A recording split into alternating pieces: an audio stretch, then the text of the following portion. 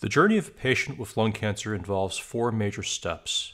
First, their lung cancer is diagnosed, then it's staged, then treated, and then its response to treatment assessed. Radiologists play a major role in at least three of these four steps, and the one role we'll be focusing on in this presentation is staging. When we stage lung cancer, we're describing the cancer's growth and its spread. And the reason why we stage cancers is to establish the patient's prognosis and to determine what their treatment plan should be. With lung cancer, there are five treatments that we can potentially offer patients. Surgical resection. Surgical resection is the only one of the five treatment options that provides a possibility, but certainly not a guarantee, of a cure, where your patient has the possibility of eliminating all of the cancer cells and not just 99.9999% of them from the body. It comes with the risks of any major procedure in the chest and is not an option for every lung cancer patient. In order for surgical resection to be effective and provide the patient with a survival benefit, no microscopic tumor should be left behind. If you know it'll be impossible not to leave microscopic tumor behind, then surgery is probably not an option. Take this example where you have a primary lung cancer, a contralateral lymph node that also harbors lung cancer, and the aorta in between. You can't just do a resection of the primary lung cancer and a resection of the positive lymph node if you want to achieve a surgical cure and offer your patient a chance at a survival benefit because cancer cells must have traveled directly from the primary lung cancer past the aorta to the lymph node. That means that microscopic tumor is in all likelihood present along the path between the primary lung cancer and the lymph node.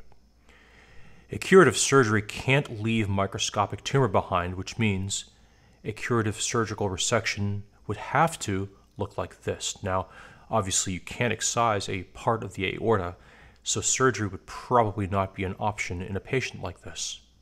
Another example could be a situation where a primary lung cancer invades a structure like the pericardium. Surgical resection would um, need to achieve negative margins, leaving no microscopic tumor behind, and re- therefore require resection of a part of the heart, which is not feasible, and therefore surgery would not be on the table as a treatment option. To get the negative margins you need to have a decent chance at accomplishing a surgical cure often means resecting a portion of adjacent anatomy. Some anatomic structures are resectable, while others, like the spine, heart, esophagus, trachea, and great vessels, are not. Resections that would theoretically require the removal of a portion of these unresectable structures would likely disqualify surgery as a treatment option. Fortunately, we have other treatment cards to play, such as radiation therapy. With radiation therapy, we use ionizing radiation, high powered X ray beams, to burn and kill cancer cells. Radiation therapy is a local, not systemic treatment. In order to kill as much of the cancer cells as possible, a bit of the normal tissue near the margins of the tumor also needs to be within the treatment field. This collateral damage can lead to symptoms and side effects. There are limits to how much cumulative radiation you can give a patient, and radiotherapy cannot be applied to large body regions. Chemotherapy. Chemotherapy is another strategy we have for killing cancer cells. Instead of surgically removing tumor tissue or burning tumor tissue to death, we introduce chemicals into the patient's bloodstream that interfere with the replication process of rapidly dividing cells in the body. This means killing cancer cells, but also collateral damage to normal, rapidly replacing cell lines too, like the epithelium of the GI tract, for example, which can lead to some side effects. Chemotherapy goes wherever blood goes and is therefore a systemic, not a local therapy. Targeted therapy. Targeted therapies work differently from chemotherapy in that they sabotage proteins and genes specific to certain cancer cells. Proteins and genes the cancer cells need to parasitize the blood supply or um, metabolic processes they need to survive. Because these abnormal proteins and genes are usually absent from normal cells, targeted therapies are associated with fewer side effects than something like chemotherapy. However, targeted therapies often only work in cancer cells with certain genetic mutations, And if that particular genetic mutation is not the same one in your patient's lung cancer, targeted therapy may not be a treatment option. Finally, our fifth treatment option is immunotherapy. Often, lung cancer cells produce proteins that help them elude the immune system's attempts to kill them. With immunotherapy, we interfere with this process and amplify the immune system's attempts to attack the lung cancer. Side effects can sometimes occur. So, these are all the cards we have to play when treating a patient's lung cancer. The best treatment plan may vary from case to case. It might be surgery for one patient, chemotherapy and immunotherapy for the next patient, surgery, radiotherapy, and chemotherapy for another patient. And the order in which multiple therapies are applied can vary too. There are a lot of different treatment plans available, and knowing the stage of a patient's lung cancer allows oncologists to determine what the best treatment plan will be. The method by which we stage lung cancer may differ depending on if it's a small cell or a non small cell lung cancer. Small cell lung cancers, which account for 15% of lung cancers, are staged bimodally as either limited stage or extensive stage. Limited stage small cell lung cancer cases are cases where the small cell lung cancer is, the only, is in only one part of the chest and can be safely treated with a single tolerable radiation portal. Extensive stage small cell lung cancer cases are cases where the small cell lung cancer involves multiple different parts of the body or cannot be safely treated with a single tolerable radiation portal. In other words, radiation therapy is an option for limited stage small cell lung cancers, but not an option for extensive stage small cell lung cancers. With regards to treatment plans, surgery is usually not an option as small cell lung cancers are usually very central and in close proximity to vital, unresectable anatomy that would prevent you from achieving a negative margin safely. Small cell lung cancers tend to be aggressive, and a combination of chemotherapy and radiation therapy are usually used for limited stage small cell lung cancers. With extensive stage small cell lung cancers, radiation is off the table, and treatment plans may rely on chemotherapy or chemotherapy and immunotherapy. As radiologists, our role in staging small cell lung cancers is to provide the information needed to establish if a patient is limited or extensive stage. That means things like mentioning in our reports if there is one or more than one tumor region, where those tumor regions are, and how large those tumor regions are. Non small cell lung cancers are much more common than small cell lung cancers, and their staging is more complex. Non small cell lung cancers are staged into four buckets, numbered from 1 to 4. From a big picture perspective, stage 1 non small cell lung cancers are cases where the cancer is confined to the lung and has not spread to any lymph nodes or to any other parts of the body. Stage 2 non small cell lung cancers have spread to and only to the ipsilateral hilar lymph nodes. Stage 3 non small cell lung cancers have directly are um, have um, directly spread beyond the lung or um, they've spread beyond the ipsilateral hilar lymph nodes to other uh, regional lymph nodes. Stage 3 non small cell lung cancers have not metastasized, though, to more distant body parts like liver, bones, or brain. Stage 4 non small cell lung cancers are cancers with distant metastases, including malignant pleural or pericardial effusions. The treatment plan for stage 1 non small cell lung cancers are usually either surgery in isolation or surgery followed by chemotherapy, just in case a microscopic amount of lung cancer was left behind after the resection. Chemotherapy administered after surgery is referred to as adjuvant chemotherapy. The treatment plan for stage 2 non small cell lung cancers are usually surgery and adjuvant chemotherapy.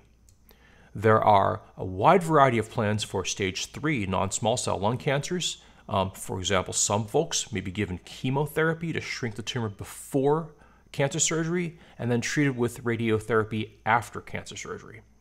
We refer to chemotherapy administered before cancer surgery as neoadjuvant chemotherapy. Other folks might see a combination of chemotherapy and radiation therapy before surgery, or surgery followed by chemotherapy and radiation, and in folks with stage 3 non small cell lung cancer, where surgery is not an option, uh, treatment plan plans could include um, something like chemotherapy and radiation therapy, followed by immunotherapy. This treatment plan for stage four uh, non small cell lung cancers will usually not include surgery for the reasons we alluded to earlier.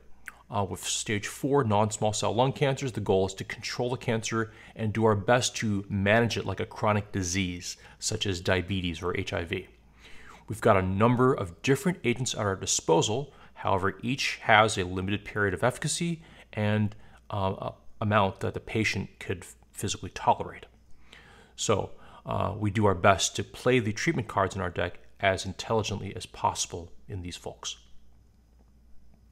So, there are four major staging buckets for non small cell lung cancer, but as you can expect, the actual assignment of staging in real life is more complex and we rely on a standardized system called the Tumor Lymph Node and Metastasis, or TNM, staging system to bring more accuracy and consistency to the staging of non small cell lung cancer.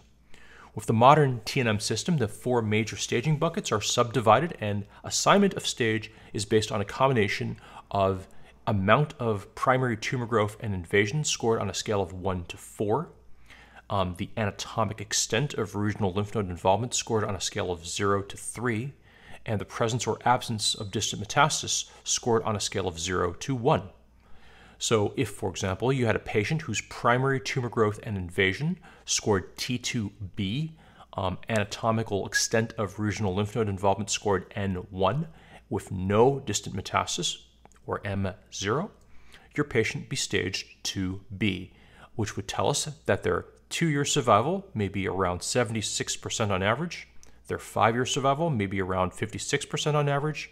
And that surgery followed by chemotherapy may be a typical first line treatment plan for someone with non small cell lung cancer with that particular amount of growth and spread. So, what are the criteria for these T, N, and M scores? Well, T score assignment relies on the size of the primary tumor in its greatest dimension, endobronchial extension, visceral chest wall or mediastinal invasion, and the presence of separate tumor sites in different lobes of the same lung. And these are the specific rules. In patients with no endobronchial involvement, no visceral mediastinal or chest wall invasion, and no tumor in another lobe of the same lung, T scoring is based on different greatest tumor dimension thresholds between 3 centimeters and 7 centimeters. In the presence of endobronchial involvement or visceral pleural invasion, T score will be no lower than T2. In the presence of chest wall invasion, T scores will be no lower than T3.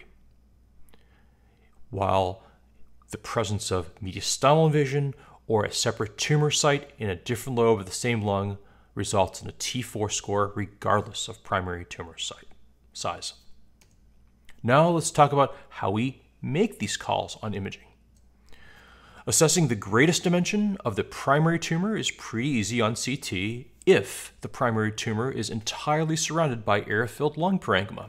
However, in cases where the tumor margins are obscured by a substantial amount of atelectasis or pneumonia, it's sometimes tough to figure out where tumor ends and the atelectasis or consolidation begins, and PET CT imaging can offer a more accurate estimate of tumor size than CT.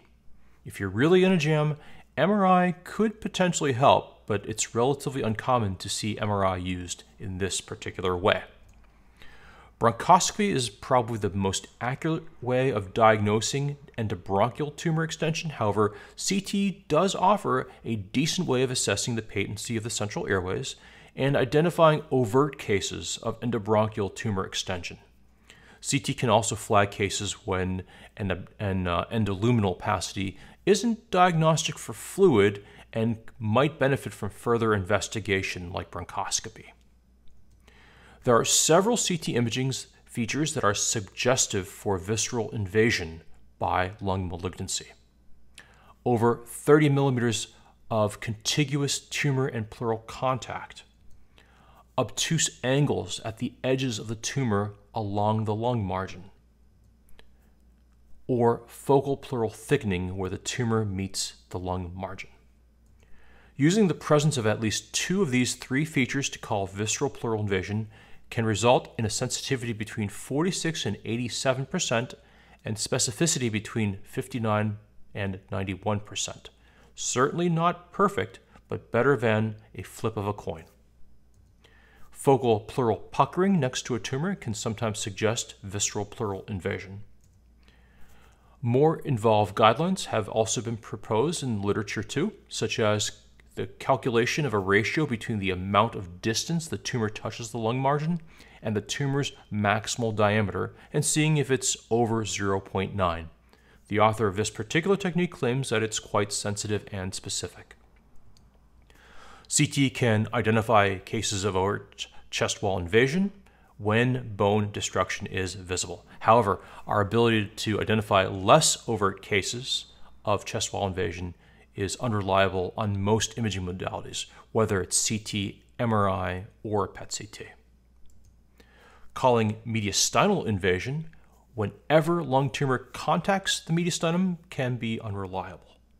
However, CT imaging findings such as overt replacement of mediastinal fat by tumor or encasement of a mediastinal vessel by tumor are pretty reliable signs of mediastinal invasion. However, at the end of the day, many chest radiologists believe that we're better at predicting the absence of mediastinal invasion than its presence. Mediastinal invasion is generally less likely in cases where the amount of contact between tumor and mediastinum is less than 30 millimeters in cases where less than 90 degrees of the circumference of the aorta is in contact with the tumor, and when a fat plane is visible between the tumor and a mediastinal structure. While folks generally feel good when there's, say, less than 30 millimeters of mediastinal tumor contact, less than 90 degrees of aortic contact, or presence of a fat plane between tumor and mediastinal structure, just seeing violation of these criteria um, may not necessarily predict the presence of mediastinal invasion. With a combination of CT and PET CT, we tend to be pretty good at identifying situations where a separate tumor is present in a different lobe of the same lung. So that's how the classification of tumor invasion and growth is handled on imaging. N score assignment relies on the anatomic extent of lung cancer spread to lymph nodes. Has tumor reached local nodes, like the ipsilateral hilar lymph nodes. Has tumor reached ipsilateral regional, that is, ipsilateral mediastinal lymph nodes? Has tumor reached contralateral regional or mediastinal lymph nodes? Or has tumor reached lymph nodes in the lower neck? And here's how lymph node scoring works. It's important to point out that lung cancer spread to any other lymph nodes. For example, axillary or diaphragmatic lymph nodes would be considered distant metastasis and scored by the distant, uh, distant uh, metastasis M category and not the regional lymph node N category. As for scoring regional lymph nodes, if we say had a patient with a right sided lung cancer, involvement of, but no further than, the ipsilateral intrapulmonary peribronchial or hilar lymph nodes would be scored N1 while lung cancer cases that had reached the ipsilateral mediastinal lymph nodes or subcarinal lymph nodes would be scored N2. And lung cancer cases that had reached the contralateral mediastinal lymph nodes or lower cervical lymph nodes on either side would be scored N3. Now, there's a lot of nuance when it comes to distinguishing N1 from N2 and N2 from N3 lymph node spread on CT imaging. That's uh, beyond the scope of this presentation, but uh, covered in detail in my presentation on lung cancer staging and the IASLC lymph node map. So, how do we determine if a lymph node is positive or not on non-invasive imaging like a CT scan? Uh, one option uh, people try is to use the short axis diameter of a lymph node um, in some sort of threshold, like say 10 millimeters. Uh, although short axis diameter measurements are relatively objective, they're not a reliable discriminator of malignancy versus benignity. In a um, study a number of years ago now, three quarters of patients who were definitively N0 after surgical lymph node sampling had at least one lymph node over 10 millimeters in short axis diameter. At the same time, 1 in 8 patients who were definitively N1 or N2 after surgical lymph node sampling did not have a single lymph node over 10 millimeters in short axis diameter. So, when dealing with lymph nodes that aren't just bulkily enlarged on CT imaging, we often uh, need to consider a gestalt of things like size, shape, number, and even then, our accuracy for calling positive lymphadenopathy may be limited, which is why we often um, refer to FDG PET imaging, which tends to be a bit better, though not without its share of some false positives and false negatives too. Not surprisingly, um, direct sampling of some lymph nodes is sometimes required in patients. So, this is how the classification of regional lymph node spread is handled. M score assignment relies on identifying distant metastases and will be paying attention to the contralateral lung, the pleura, solid organs like liver, adrenal glands, brain, and also the bones. For the purposes of prognosis and guiding treatment, the M1 category is subdivided. Metastases to the pleural space, pericardial space, or contralateral lung are subcategorized as M1A, while single extrathoracic metastases or metastases to lymph nodes beyond the hilum, mediastinum, and lower neck are subcategorized as M1B. Multiple extrathoracic metastases are subcategorized as M1C. Except in severe cases, CT imaging is relatively nonspecific for pleural metastasis. On the other hand, PET-CT is a pretty good test for pleural metastasis. Um, somewhat nonspecific, but quite sensitive. In fact, PET-CT is a lot more sensitive in thoracentesis, which has been reported to have false negative rates as high as 30 to 40 percent. The combination of CT and PET-CT um, are pretty good for identifying situations where a separate tumor is present in the contralateral lung. Enhanced abdominal CT imaging, MRI, and PET CT are all relatively sensitive for picking up liver metastasis. Likewise, three phase enhanced abdominal CT, MRI, and PET CT are all relatively good at identifying adrenal metastases too. The story for detecting brain metastases is different, uh, where MRI substantially outperforms CT and PET CT. Picking up brain metastases can be quite um, challenging on PET CT since background FDG in uptake in normal lung is very high. As with brain metastases, CT imaging um, is also not particularly sensitive um, uh, when it comes to bone metastases. Um, on the other hand, PET CT performs quite well identifying bone metastases with high sensitivity and specificity. While the sensitivity of traditional nuclear medicine bone scans are high, their specificity for uh, bone mets is much lower than PET-CT. Finally, compared to most other imaging modalities and tests, PET-CT is very good at detecting distant unsuspected metastases elsewhere in the body uh, from non-small cell lung cancer.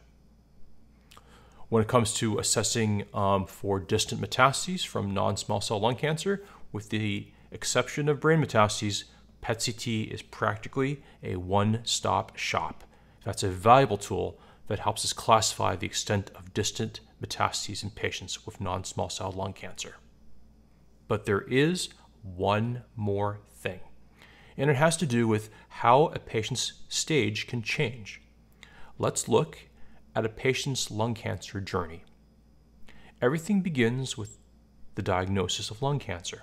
The diagnosis is usually established um, by an incisional biopsy. Incisional biopsies are biopsies where a portion of an abnormal object is removed and sent to pathology. For lung cancer, this is usually some kind of needle biopsy, most often performed percutaneously by a radiologist or bronchoscopically by a pulmonologist. After a patient has been diagnosed with lung cancer, they're staged. Sometimes staging could require additional incisional biopsies, perhaps of an equivocal lymph node somewhere. The stage is what drives the patient's treatment plan. Something interesting can happen if the treatment plan involves surgical resection of the lung cancer. With surgical resection, the entire cancer and some surrounding tissue and lymph nodes are resected and sent to pathology, resulting in what folks refer to as an excisional biopsy specimen. Excisional biopsies are biopsies where the entire abnormal object is surgically excised and sent to pathology. Using politics as a metaphor, an excisional biopsy is like all of the votes cast on an election day. Compared to an incisional biopsy would be like a small survey poll done on a sample of the electorate. Just as on some election nights, sometimes we learn something unexpected from the excisional surgical specimen than what we had expected going in.